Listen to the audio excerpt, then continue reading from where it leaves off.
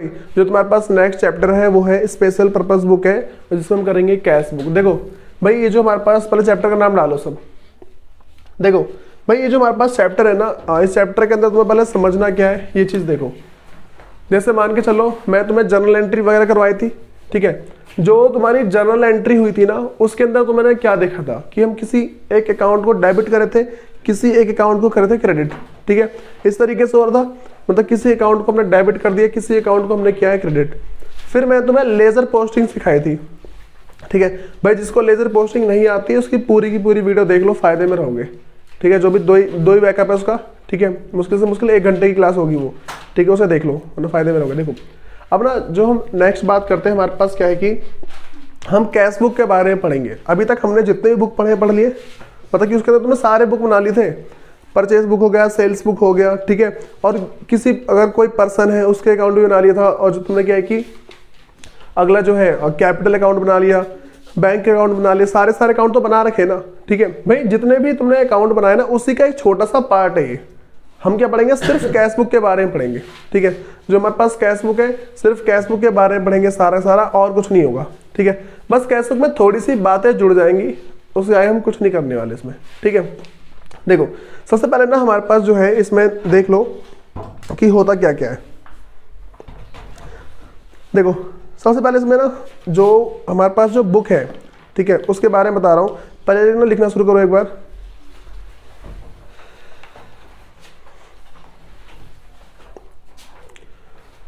Reasons for preparing cash book reasons for preparing cash book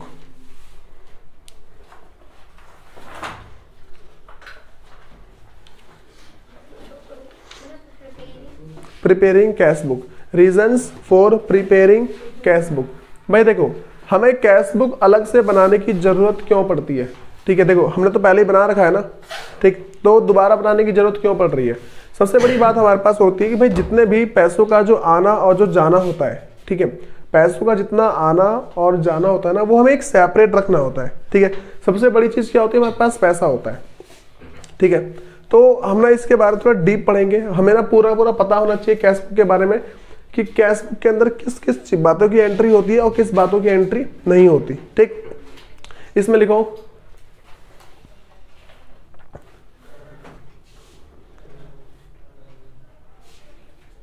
हम्म इसमें लिखो because it is difficult to because it is difficult to because it is difficult to record all the transactions. All the transactions in same book भाई, एक ही book के अंदर सारी की सारी transaction record करते हैं ना तो बहुत ज़्यादा डिफ़िकल्ट हो जाता है, ठीक है? इसीलिए हम इस बुक को, जो कैश बुक है, उसको हम अलग से प्रिपेयर करते हैं, ठीक है? कितना कैश मेरे पास आया, कितना कैश चला गया, ठीक है? कितना मेरे बैंक में बैलेंस आया, कितना बैंक से बैलेंस चला गया, ठीक है? भाई, मैंने बीआरएस पढ़ाया था, ठीक है? तो बीआरएस के अंदर ना, जो भी हम मिस्टेक ढूंढेंगे, कहाँ से ढूंढेंगे भाई? जो हमने कैश बुक बनाई है ना इसमें से ठीक है? और जो दूसरा हमारे पास क्या है कि जो बैंक की स्टेटमेंट है उससे ठीक है? जब तक हमारे पास कैश बुक नहीं बनी होगी तो बैंक की स्टेटमेंट कहाँ से बनेगी? बैंक की स्टेटमेंट बनने नहीं वाली है ठीक है? और चलो ठीक है मान लो बैंक वाले तो बनाते हैं स्टेटमेंट हमारी। उस स्टेटमेंट को हम अपने कैश बुक से कंपेयर कैसे करेंगे? जब हमने कैश बुक बना रखी हो तो, तो कभी तो कंपेयर करेंगे ना ठीक है? अगली हेडिंग डाल के चलो इसमें।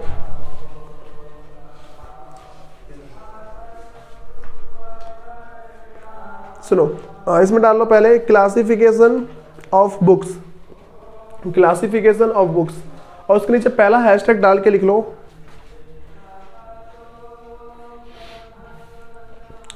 देखो, जो हमारे पास ना पहला है, उसके अंदर तुम्हें लिख के चलना है कि एक ना पहला पॉइंट डाल लो इसमें।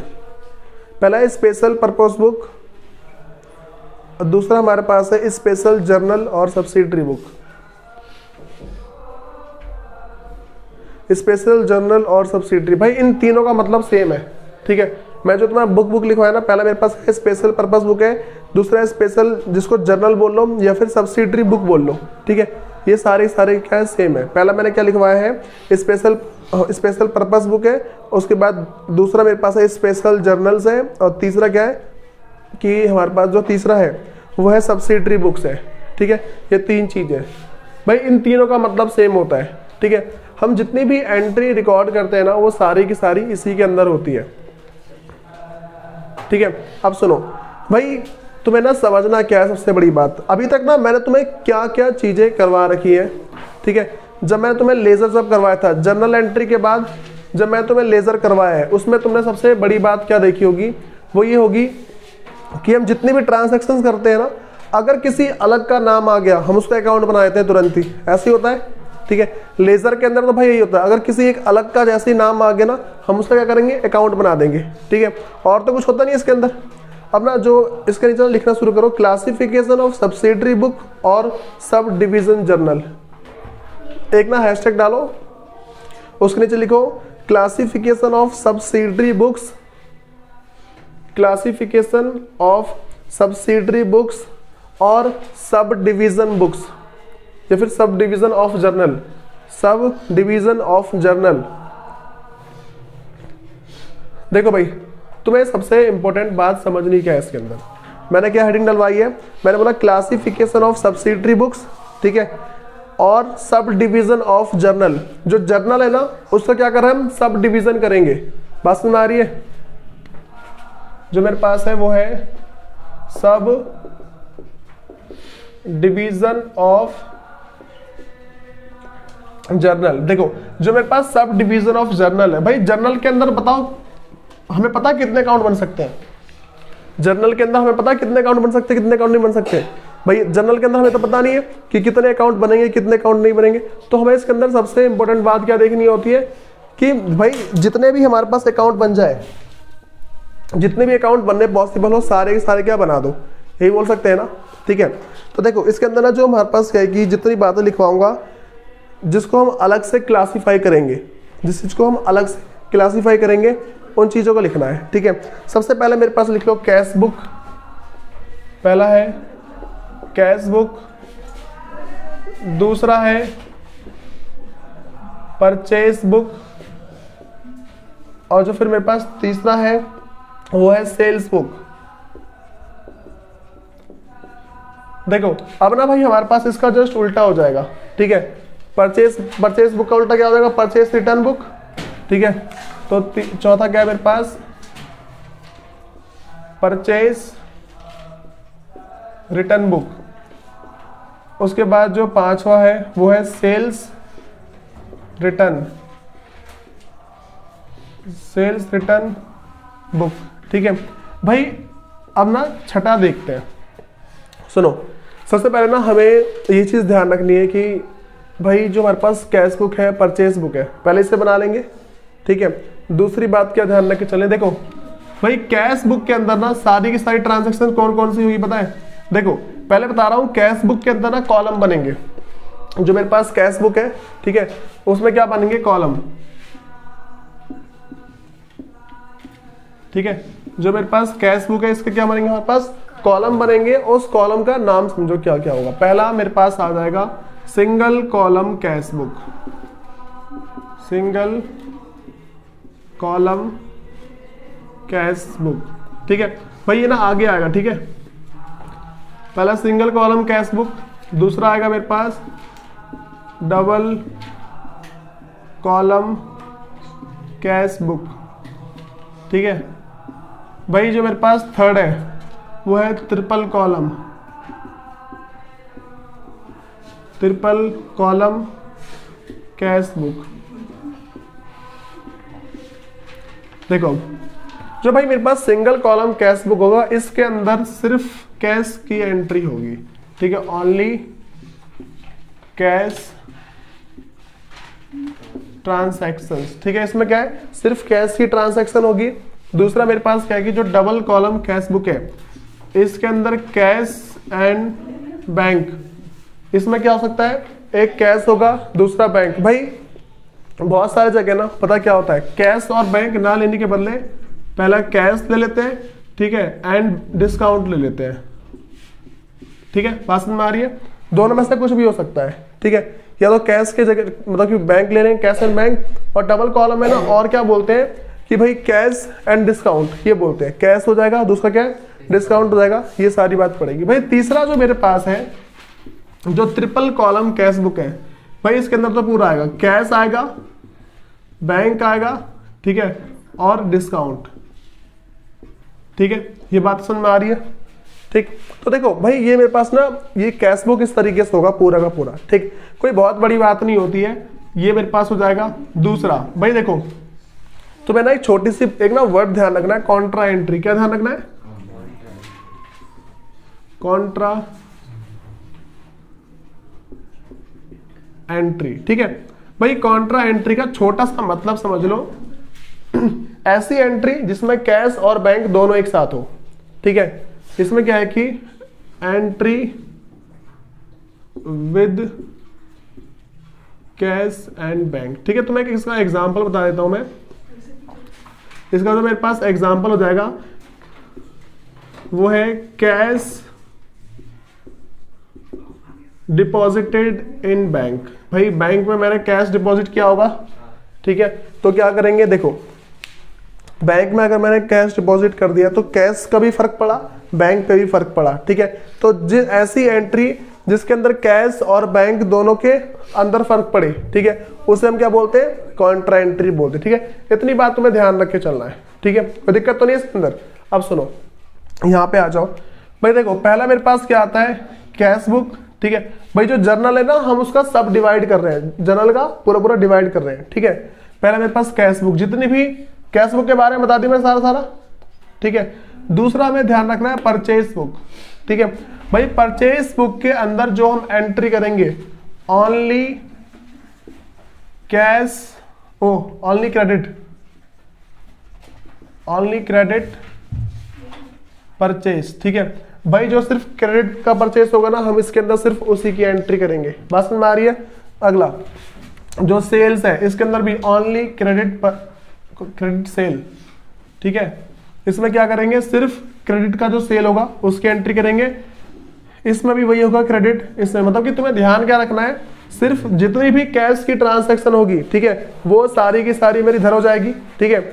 और जो बाकी है, वो तुम्हें क्या ध्यान रख के चलना है भाई? देखो कैश के अंदर सारी सारी कैश की ट्रांजेक्शन हो जाएगी, ठीक है? और जो बाकी मेरे पास आएगी इसके अंदर, इसके इसके इसके अंदर, ठीक है? ये सारी की सारी खरीदने और बेचने की, ठीक है? बात समझ आ रही है? इसमें कौन सी एंट्री जाएगी? जो खरीदने और जो बेचने की एंट्री होगी, वो सारी की सारी होगी। भाई, अब जो सबसे इंपॉर्टेंट बात तुम्हें ध्यान रखनी है, वो क्या है? अगर मान के चल लो कि मैंने मशीन परचेज करी है, उसकी एंट्री कहाँ लिखोगे? परचेस में गुड्स वगैरह आएँगे ना? परचेस में गुड्स आएगा सेल्स में भी गुड्स ही आएगा, ये सब आता है। भाई, ऐसा तो होगा नहीं कि क्या कहते हैं, मैं परचेस के बदले यहाँ पे लिख दूँ कि हाँ भाई मशीन ऐसा मैं मशीन को परचेस करता हूँ तो लिखूँगा ना मशीन अकाउंट ठीक है? Machine account debit to cash या फिर बैंक ठीक है? ऐसा हो सकता है ना? इस तरीके से होगा। तो यहाँ पे हमें समझना क्या है? अगर ऐसा हो जाए कि भाई देखो मेरे पास क्या है कि कैश में सिर्फ़ कैश की एंट्री होगी, ठीक है? जो परचेस बुक है, उसके अंदर क्या मेरे पास सिर्फ़ क्रेडिट परचेस की एंट्री होगी सेल्स में सिर्फ़ क्रेडिट सेल की एंट्री होगी, ठीक है? परचेस रिटर्न के अंदर वही मतलब कि सबके अंदर क्रेडिट क्रेडिट की बात होगी, ठीक है? लेकिन अगर इन सब चीज़ों को छोड़ के कोई दूसरी बात आती है, क्या कहाँ करोगे एंट्री अगर इन सब बातों को छोड़ के परचेज सेल को छोड़ के कोई और बात आती है एंड उसकी एंट्री कहाँ होगी भाई? उसकी तो एंट्री होनी चाहिए ना, ठीक है? मशीन परचेस करी है बिल्डिंग परचेस कर लिया है तो इन सब की एंट्री कहाँ होती है? वो हमारे होते हैं जर्नल प्रॉपर में, ठीक है? किसमें होती है? जर्नल प्रॉपर ठीक है? बताओ। इसमें कोई दिक्कत तो नहीं है? ठीक है? इसकी एंट्री क्या हो जाएगी? जर्नल प्रॉपर में। मतलब कि अगर परचेस और सेल को छोड़ के और कोई सी भी अगर अदर एंट्री होती है वो सारी सारी क्या होगी? जर्नल प्रॉपर के अंदर उसकी एंट्री जाएगी कोई दिक्कत तो नहीं है भाई यहाँ तक, ठीक है? तुम्हें ये बातें पता होनी चाहिए कि इसमें कौन सी एंट्री होती है? देखो, इसमें इसमें इसमें इसमें, ठीक है? जो भी सेल और परचेस होगा, वो सारे सारे क्रेडिट का रिकॉर्ड करेंगे। और अगर कैश हुआ, ठीक है? तो सीधा कैश में। कैश में कोई सी भी ट्रांसेक्शन आ गई मैंने मान के चलो, मैंने परचेज किया गुड्स कैश के साथ। उसकी एंट्री सीधा कर दो कैश बुक के अंदर। ठीक है? बात समझ में आ रही है?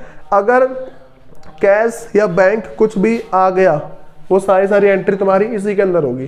ठीक है? अब यही होगा, मैं तुम्हें एक एक क्वेश्चन करके सिखाऊँगा सबके। ठीक है? उस क्वेश्चन को सीखने के बाद फिर तुम क्या इसके आए करोगे? ठीक है? इसका नोट डाउन कर लो स्पीड में। सुनो भाई, अब जो तुम्हें नेक्स्ट बात ध्यान अगली हेडिंग डाल लो हमारे पास है एडवांटेजेस ऑफ़ सब्सिडरी बुक भाई देखो जब भी हमारे पास ना ये मैं बोल दूँ कि advantages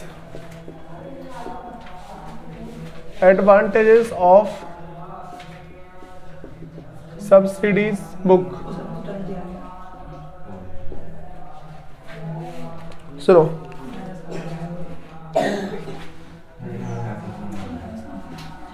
advantage of subsidiary book देखो भाई, हमारे पास जो एडवांटेजेस ऑफ़ सब्सिडरी बुक देखो, जब भी एडवां मतलब कि एडवांटेजेस की अगर हेडिंग आ गई तो मैं समझना इसका बनाने का फ़ायदा क्या है। ठीक है? एडवांटेजेस का मतलब क्या है? ऐसे फ़ायदा क्या है कि हम इस बुक को बनाए। भाई, बिना इस बुक के भी तो काम चल सकता है। ठीक है? तो जो सबसे इंपॉर्टेंट बात जो हमें ध्यान रख के चलनी ना, वो ये है। देखो, अगर वैसे तो कोई चीज़ नहीं है। ठीक है? मैं तुम्हें बता दूँगा ऐसे ही। लेकिन ना एग्ज़ाम के पर्पज के लिए तुम्हें याद रख के चलना है, ठीक है? क्योंकि भाई वहाँ पर तुम्हें इस बार टिक मार्क मारने which of the following are not the advantages of cash book ठीक है? तो भाई तुम्हें इस पर टिक लगाना होगा, ये वाला इसका एडवांटेज नहीं है, ठीक है? तो इसमें सबसे पहले मेरे पास है डिवीज़न ऑफ़ वर्क ठीक है? डिवीज़न ऑफ़ वर्क पता देखो, पहले के टाइम पे ना क्या हुआ करता था कि एक कोई कंपनी होती थी ना, उसमें छह से सात अकाउंटेंट काम करते थे, ठीक है? वो क्या करते थे? एक सिर्फ़ सेल संभालेगा, एक परचेज संभालेगा, एक कैश संभालेगा, ठीक है? इस तरीके से होता सारा सारा। कि सेल की एंट्री करने वाला कोई और है, परचेज की एंट्री करने वाला कोई और है, जो उसके बाद जो मशीन वगैरह खरीदेगा, उसका करने वाला कोई और है, जो सिर्फ़ कैश की जो ट्रांजेक्शन करेगा, वो कोई और है, ठीक है? बाहर जाने वाला, सिर्फ़ बाहर से बाहर का काम रखने वाला, वो कोई और है। इस तरीके से। अब क्या हो गया है? सॉफ्टवेयर बन गए एक, ठीक है? उसी सॉफ्टवेयर के अंदर सारा का सारा काम हो रहा है, कैश, परचेज, सारा का सारा उसी में हो रहा है। ठीक है? ये चीज़ में ध्यान रखनी है। अब देखो तो मेरे पास क्या है कि सबसे पहले क्या होता है, यहाँ पे डिवीज़न ऑफ़ वर्क होता है। ठीक है? ये अच्छा मैंने बताया ये चीज़ पहले होती थी, अब ना एक ही बंदा कर देता है। ठीक है? ये चीज़ क्या पहले हुआ करती थी कि भाई अलग अलग बंदे कर रहे हैं, लेकिन अगर कोई बहुत बड़ी कंपनी होगी ना, जैसे मान के चलो कि तुम्हारा कोई मॉल वगैरह हो गया, ठीक है? उसके अंदर अभी भी यही चलता है। जैसे कोई एक मॉल है, उसके अंदर सारा का सारा सामान उसी बंदे का आता है। ठीक है? ये होता है ना क्या बोलते हैं रिलायंस में चले जाओ तुम कभी। ठीक है, नीचे बहुत सारा ग्रोसरी का सामान रखा है मतलब कि हर एक टाइप का सामान रखा है। उसमें जो भी स्टॉक आता है, ठीक है, वो क्या है कि एक ही जना कंट्रोल करेगा उसको, लेकिन उसमें क्या अलग अलग अकाउंटेंट बैठे होते हैं कि भाई तो इसका संभालेगा तो इसका तो इसका, इस अलग तरीके से। ठीक है तो देखो, अब ना हमारे पास क्या है कि पहले हुआ था डिवीज़न ऑफ़ वर्क अब एक ही बंदा कर लेता है वैसे, लेकिन तुम्हें क्या ध्यान रखना पहले, इसमें वर्क का डिवीज़न होता है। अगर हर एक बंदा अलग अलग बनाएगा तो इसमें काम बट गया अगर काम बढ़ जाता है ना तो काम आसान हो जाता है, ठीक है? दूसरा इस पर ध्यान रखना है specialisation and efficiency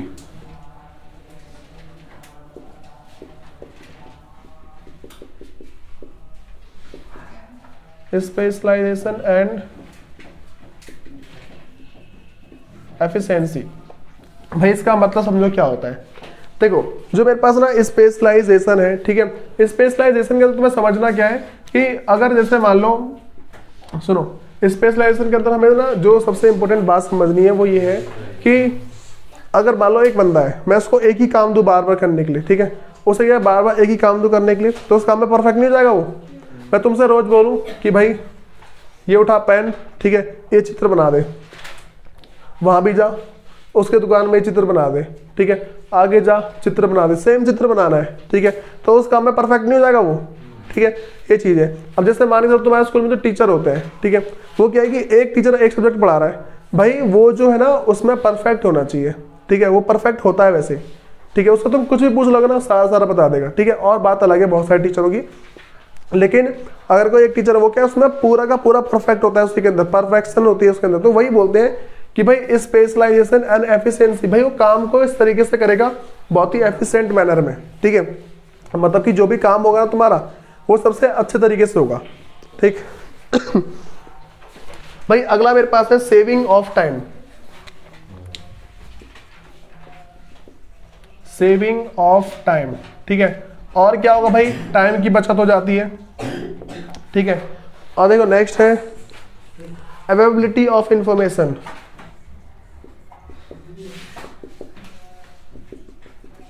availability of information ठीक है? भाई, जो हमारे पास इंफॉर्मेशन क्या है कि वो हमेशा अवेलेबल रहती है, ठीक है? जैसे मान लो, मुझे सिर्फ़, मुझे मुझे पता लगाना है कि जो परचेज कितने का हुआ है, वो बताओ, ठीक है? सेल्स कितने का हुआ है, वो बताओ। तो ये सारे के सारे क्या होते हैं, ठीक है? परचेज की सारी सारी एंट्री बतानी है मतलब कि कितने का परचेज किया तुमने, कितने का सेल्स किया अगर तुम्हें ये सारा पता लगाना है ना, ठीक है तो कहाँ से पता लगाओगे? इन्हीं बुक से पता लग जाता है, ठीक है? मैं किसके पास जाऊँगा? भाई परचेज डिपार्टमेंट के पास जाऊँगा, बता। दो तारीख को तूने कितने का सामान खरीदा था? जी, दस हज़ार का। यहाँ पर तुमने बारह हज़ार का दिखा रखा है। ठीक है? तो उसमें क्या सारी सारी गलतियाँ क्या तुरंत पता लग जाती है ठीक? उसके बाद, जो हमारे पास नेक्स्ट है, वो है facility in checking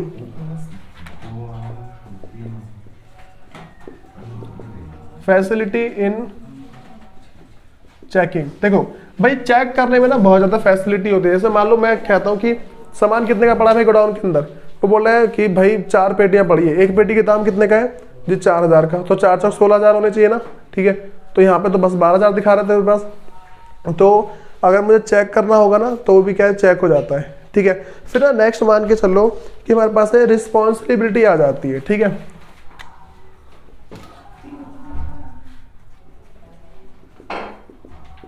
देखो भाई रिस्पॉन्सिबिलिटी किस बात की आती है कि जैसे मान के चलो कि एक कोई बंदा है, वो सिर्फ़ सेल्स डिपार्टमेंट का है, ठीक है? तो सेल्स की सारी की सारी रिस्पॉन्सिबिलिटी उसके पास होगी, ये कम ज़्यादा कैसे हुई? ठीक है? वो मतलब कि जब बाहर से बाहर से अगर मान के चलो कि किसी स्टॉक की एंट्री हुई, ठीक है? तो वो जो स्टॉक है तूने इसकी एंट्री क्यों नहीं करी और करी तो गलत क्यों करी? मान चलो अगर गलत करिए तो क्यों करी तूने गलत? वो सारी की सारी रिस्पॉन्सिबिलिटी क्या है? उसी सेल्स डिपार्टमेंट वाले के पास आ जाएगी, ठीक है? कोई दिक्कत तो नहीं इसके अंदर? फिर सुनो, भाई जो हमारे पास ना ये सारे जो टोटल छः पॉइंट है, ये सारे के सारे तुम्हें पता होने चाहिए, ठीक है? और याद भी होने चाहिए, क्योंकि एग्ज़ाम में भाई तुम्हें जाना है और डायरेक्ट का टिक लगा देना है, ठीक है? इस तरीके से करना है। अब ना मेरे पास क्या है कि इसके आगे जो मैं नेक्स्ट करवा रहा हूँ, वो तुम्हारे पास है कैश बुक ठीक है? हम इसके अंदर क्या single column double column triple column तीनों के तीनों पढ़ेंगे। भाई ट्रिपल कॉलम तुम्हारे सिलेबस में ऐसा होता नहीं है तो तुम्हें फिर भी सिखा के चल रहा हूँ। ठीक है? कि ट्रिपल कॉलम की एंट्री कहाँ पे होगी? ठीक है? देखो, सबसे पहले मैंने ना वही दोबारा सेम चार्ट बनाऊँगा मैं। कि अगली हेडिंग डाल लो, कैश बुक। सुनो, भाई, कैश बुक मैंने बता दिया, इसके तीन पार्ट होंगे। हाँ भाई, बात समझ आ रही है? पहला मेरे पास क्या है? सिंगल कॉलम डबल कॉलम ठीक है? फिर क्या है मेरे पास अगला? Triple column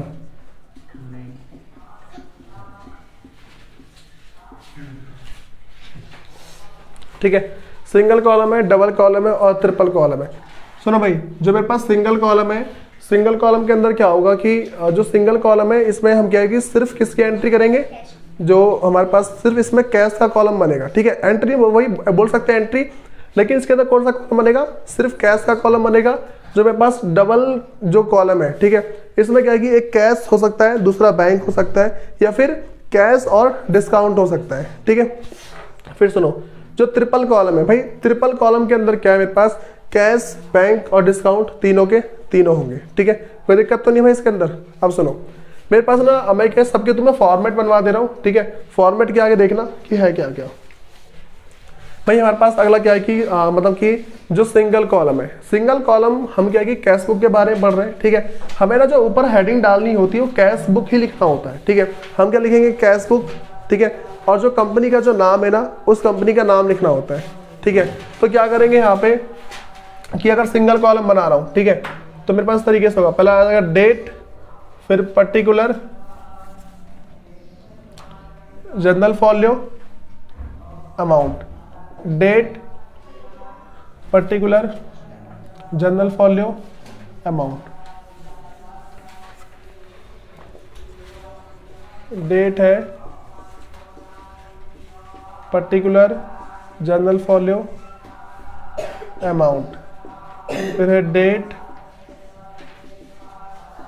particular journal folio amount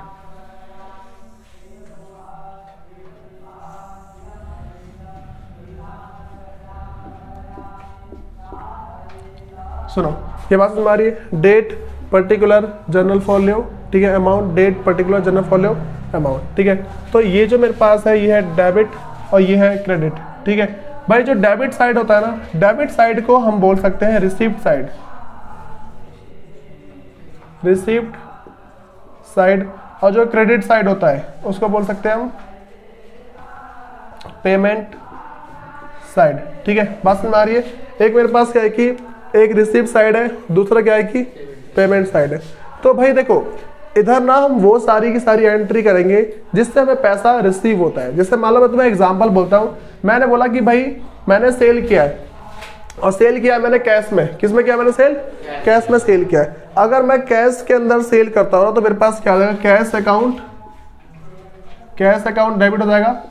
और टू सेल्स अकाउंट। देखो भाई पैसे मिल रहे हैं ना यहाँ पे। पैसे मिल रहे हैं क्यों मिल रहा है? कैश अकाउंट डेबिट हो रहा है। किसकी वजह से हो रहा है? सेल्स की वजह से। क्या लिखूँगा यहाँ पे मैं? To sales account. ठीक है? मान लो दस हज़ार का है। बताओ। जरा खुद सोचो इस एंट्री के अंदर मेरे को पैसे मिले होंगे ना, ठीक है? एंट्री में अगर पैसे मिले होंगे तो भाई मेरे पास क्या सेल्स डेबिट हुआ है? यहाँ पे लिख दूँगा दस हज़ार से, ठीक है? कितने मिल गए मेरे को? दस हज़ार रुपए मिल गए। तो ये क्या मेरा? इसको रिसीव साइड बोल सकता हूँ मैं? और इसको पेमेंट साइड बोल सकता हूँ, ठीक है? अब देखो, भाई सिंगल कॉलम पता लग गया, ठीक है? नेक्स्ट मेरे पास जो है डबल कॉलम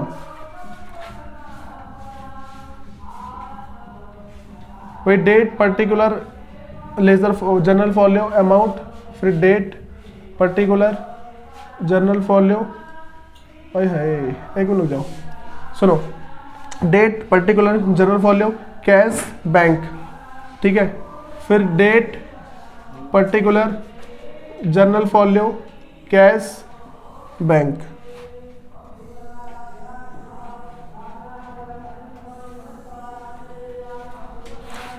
तो क्या मेरे पास? Date particular journal folio cash bank date particular फिर है जर्नल फॉलियो कैश बैंक ठीक है? ये मेरा हो गया डेबिट साइड ये हो गया क्रेडिट साइड भाई, इसमें भी सेम है। डेबिट साइड मेरे पास क्या है कि रिसिप्ट साइड होगा और क्रेडिट साइड क्या होगा? पेमेंट साइड कोई दिक्कत तो नहीं है भाई इसके अंदर? सुनो। लास्ट का मेरे पास जो है ट्रिपल कॉलम है, वो देख लो।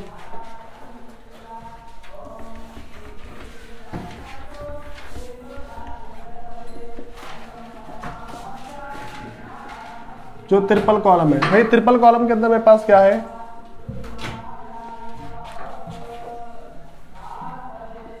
पहला है डेट फिर जाएगा पर्टिकुलर फिर वही journal folio cash bank discount यहाँ पे डेट फिर आ गया particular journal folio cash bank और डिस्काउंट यहाँ पे date particular journal folio cash bank discount फिर यहाँ पे date particular journal folio cash bank discount ये हो गया मेरा डेबिट साइड और ये है क्रेडिट साइड भाई, इस पे बस डिस्काउंट के बारे में बता रहा हूँ। यहाँ पे जो डिस्काउंट होगा, इस साइड जो मेरे पास डिस्काउंट है, वो है डिस्काउंट अलाउ डिस्काउंट अलाउ होगा। और जो इस साइड है डिस्काउंट रिसीव्ड प्रोडक्ट उससे पहले। सुनो भाई देखो, इसमें ना जो तुम्हें बात का ध्यान रख चलनी है कि हमारे पास क्या है कि जैसे जो मेरे पास सिंगल कॉलम कैश बुक है, इसमें मेरे पास जो डेबिट साइड है उसे रिसीप्ट साइड बोलेंगे, ठीक है? मेरे पास क्या है कि date particular of the ledger ledger folio अरे भाई, यहाँ पे लेजर फॉलियो करो थोड़ा। कैश बुक में ना मेरे पास लेजर फॉलियो आता है और सब में जनरल फॉलियो आता है। ठीक है? क्योंकि हमारे पास ना जिस चीज़ का, देखो, तुम्हें ध्यान कैसे रखना है? जिस चीज़ का अलग से मेरे पास अकाउंट बनता है ना, ठीक है? उसमें हम क्या करेंगे? लेजर फॉलो और वरना जो मेरे पास जो बाकी है उस समय क्या आता है? जनरल फॉलो आता है, ठीक है?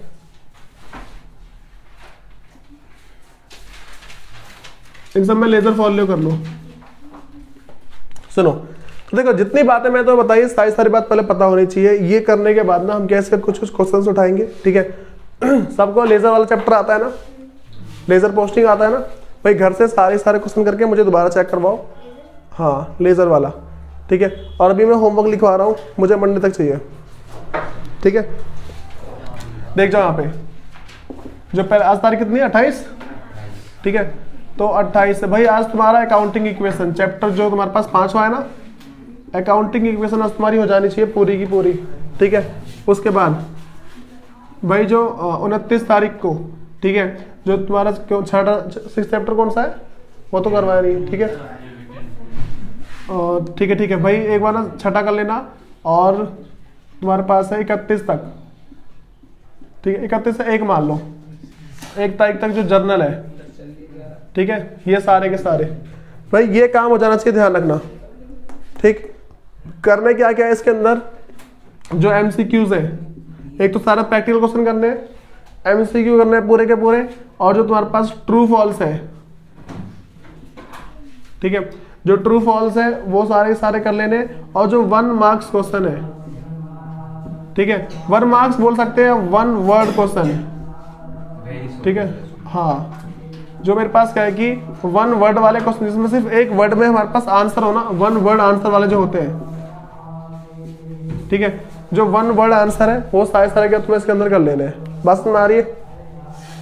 ठीक है? तो इन सबको कर लो, फ़ायदे में रहोगे थोड़ा।